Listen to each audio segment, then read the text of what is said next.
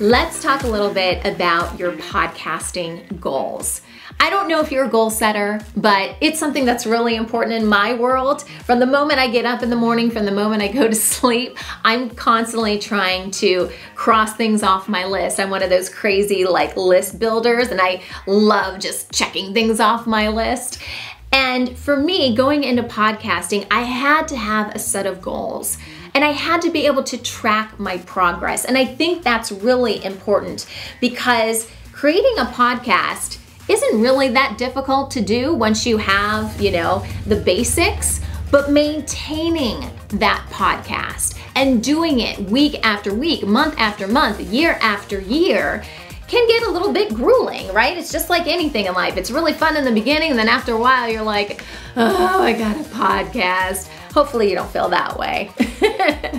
but you have to kind of have goals to kind of keep you on pace. So let's talk a little bit about that. If you have downloaded the My Podcast Plan PDF, this is a great time to pull that out because we're gonna go through really most of the items on the first page. You've probably already filled out your five podcasts, the names of the podcasts you're currently doing research on, that you're listening to instead of music. Remember the last video? So you've got that listed on your form already. But now I really want you to think about why you're doing this podcast. And I know what some of you are thinking.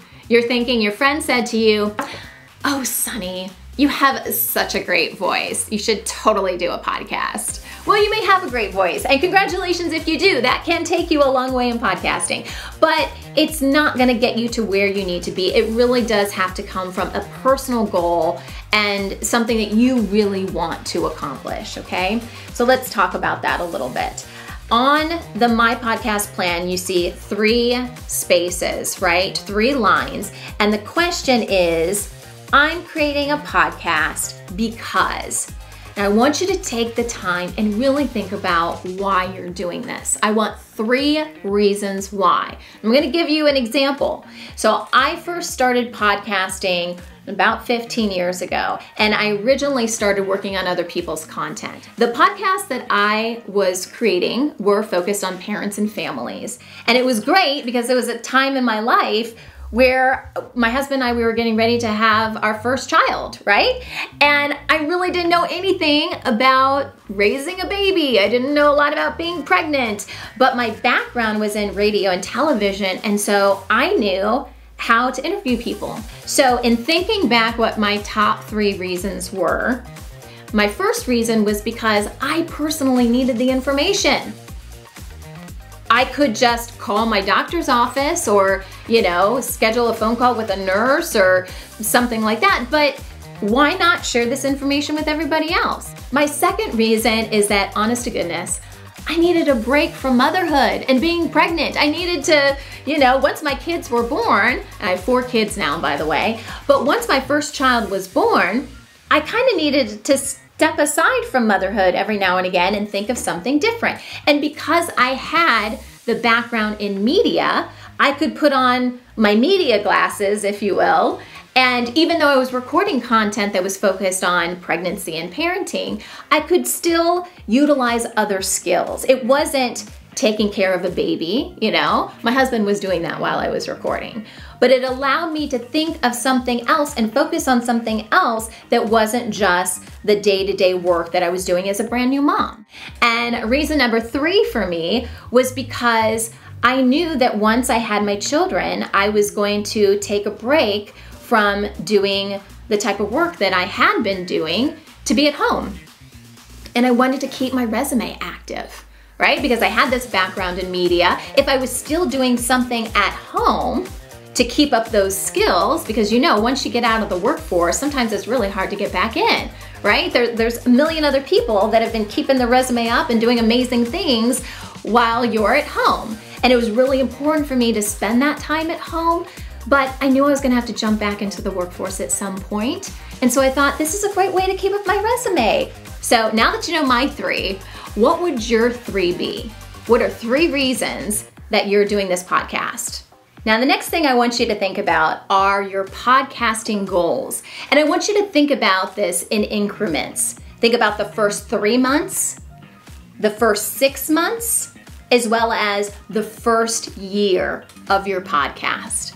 Now, I'm gonna give you some ideas, and you can certainly have other goals besides this, but here are some of the common things that most podcasters say. You wanna grow your audience. That's great. In fact, guys, I've never met a podcaster that has said, nah, you know what? my audience is big enough. I don't want to grow my podcast anymore. So if you do say that, you're in good company. But I want you to assign a number to it. And it's not that it has to be a specific number, because it's kind of hard to say, I'm going to grow my podcast by 1,050 listeners a month. No, do this in percentages, right? So if you're going to say grow your audience, say I'm going to grow my audience by 50%. I want to grow my audience by 20%, whatever seems reasonable to you. The next idea get your first advertiser. A lot of people want to make money with their podcasts, right? So perhaps you want to start incorporating advertisers at a certain point. Another idea to bring in money is to create a membership program. Let's say, you know, just throwing this out there, that within six months you want to launch a membership program. Maybe that could be a goal for you if this is related to your business, right? If you are using your podcast as a marketing tool to bring in clients for your business, one goal could be to lead to speaking gigs. Right? People are already hearing you on a podcast. They can hear your voice, they can hear your cadence and how you interact with other people. In theory, that is a great platform to be able to launch into speaking gigs. So perhaps you want to get your first speaking gig within the first year of your podcast. Maybe in general, you just want to bring in more clients. And I think this is a great place too to again assign some sort of number or percentage to that. So you're creating, you know, goals that you can really monitor and manage. What defines success for you and this podcast? And you can see on your form, there is a section that says, My podcast will be a success if. And there's three lines. So I want you to really think about, you know, at the end of this year, let's just take a year for example. Think about the first year of your podcast. If you accomplished what three things would you say at the end of that year, you know what? This is a success. Right? And it doesn't, you know, everybody's everybody's uh, plans are a little bit different. You know, it, it's not that you have to have millions of subscribers and you know, your your idea of success may be completely different than somebody else and that is fine. Like, you know, I would have thought with my podcast, hey, as long as I didn't fall into postpartum depression, right? From not being able to go out and interact with people in the real world, you know, and I had a chance to keep up my resume and, and things like that, that would have defined success for me. It really had nothing to do with how many people were listening and, and developing and, and creating a, a monetization program and eventually making some good money with my podcast. That was a bonus, okay? But that was not my goal in the beginning. So your overall idea of success can be very simple, and that's okay.